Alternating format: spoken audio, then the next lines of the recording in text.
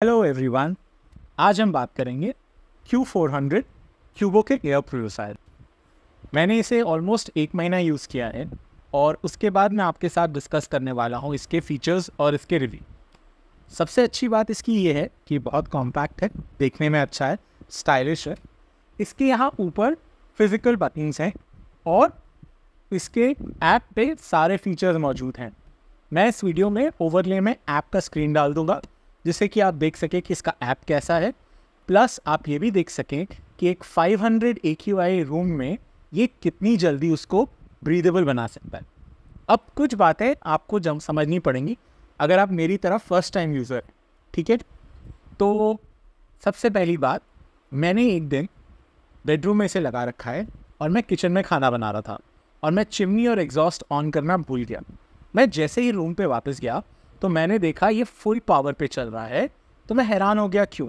फिर मैंने जब रिसर्च किया तो पता चला कि किचन के पार्टिकल्स भी ये रीड करता है और ये फिर अपने आप को एडजस्ट करता है। सो ये इतना सेंसिटिव है, ठीक है?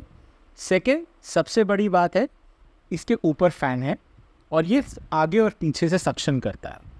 तो आपको इसे दीवार से ऑलमोस्ट एक फुट दूरी पे रख, इसका ऐप बहुत यूज़फुल है, इसमें आप फ्रेश फ़िल्टर भी ऑर्डर कर सकते इसका फ़िल्टर बॉटम से खुलता है।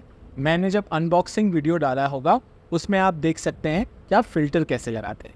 इसके ऊपर एक स्टिकर लगा हुआ आता है जो कहता है कि फ़िल्टर का आप पॉलीथीन उतार के इसे अंदर लें।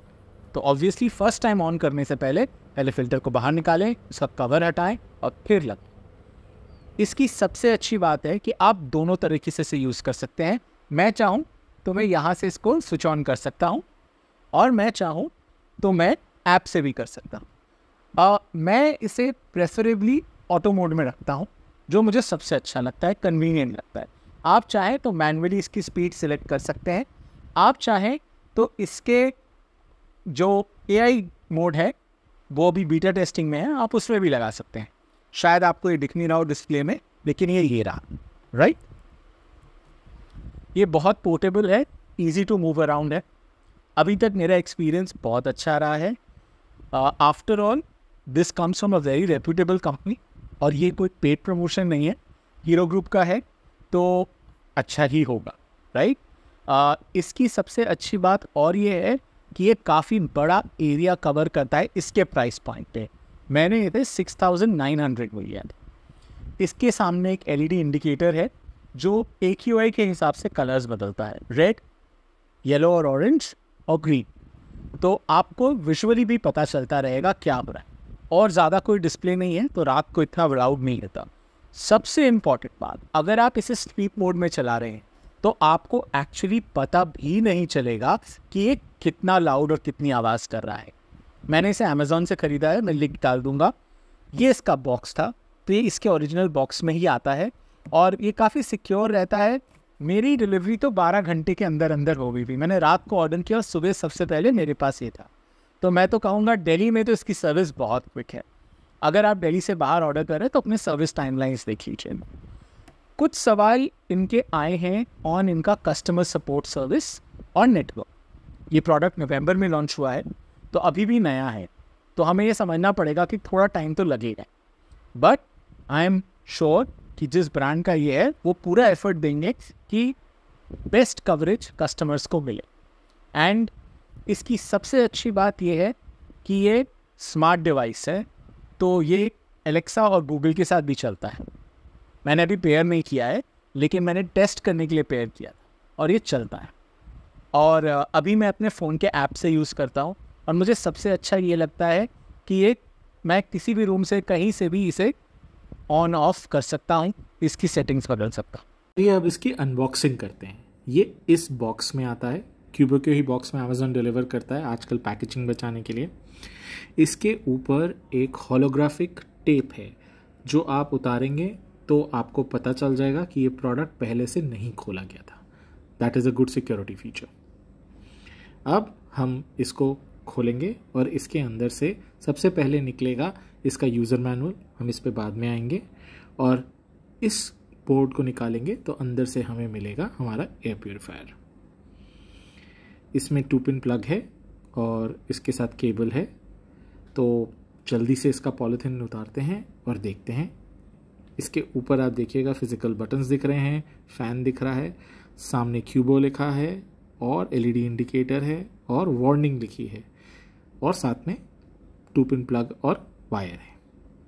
अब इस वार्निंग पे क्या लिखा है? इस वार्निंग पे लिखा था कि पहले फ़िल्टर निकाल के उसका कवर निकालें और फिर ही ऑन करें। तो इस तरह से बॉटम से फ़िल्टर खुलता है।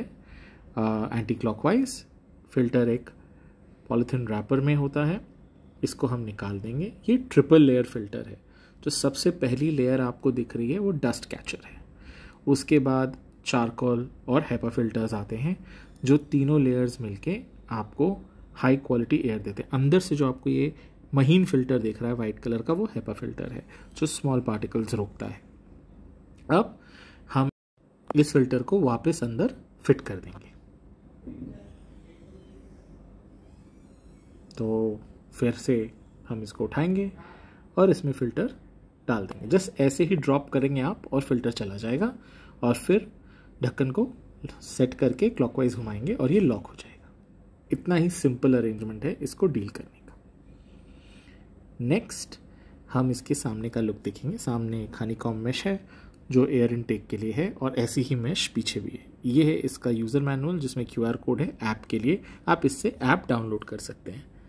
अब इसको ऑन करते हैं।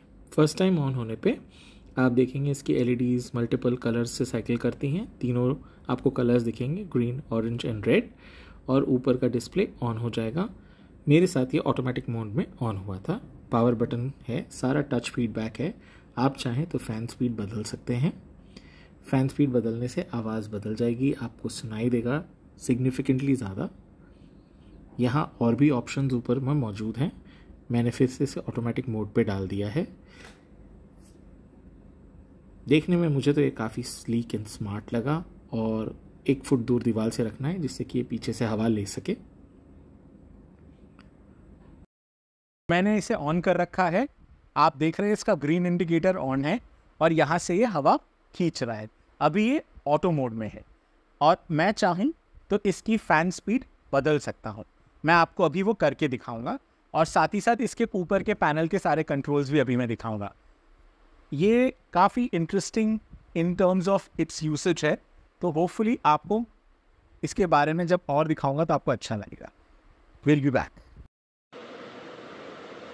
तो आप ये देख रहे हैं, ये इसके कंट्रोल्स हैं, ये इसका पैनल है और ये इसकी इंडिकेशन एलईडी है, जो ग्रीन येलो और रेड में चेंज होती है ए क्यू आई के हिसाब से। अब ऊपर का टच पैड और ये है फ़ैन राइट तो अभी ये ऑटो मोड में है। मैं चाहूँ तो मैं इसकी फ़ैन स्पीड बदल सकता हूँ।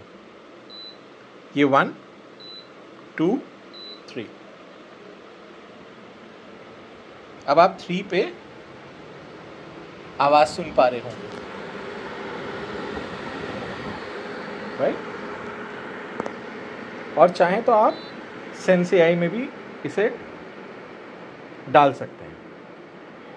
राइट और इसका जो क्यू सेंस ए है, ये ऑटो कंट्रोल करेगा। आप इस पर टाइमर भी लगा सकते हैं one hours two hours four hours eight hours वो भी यहाँ से लग जाएगा और टाइमर ऑफ़ भी हो जाएगा। होपफुली आपको ये अच्छा लगा। इसकी टॉप बिल्ड ये है। काफ़ी अच्छी हवा दे रहा है।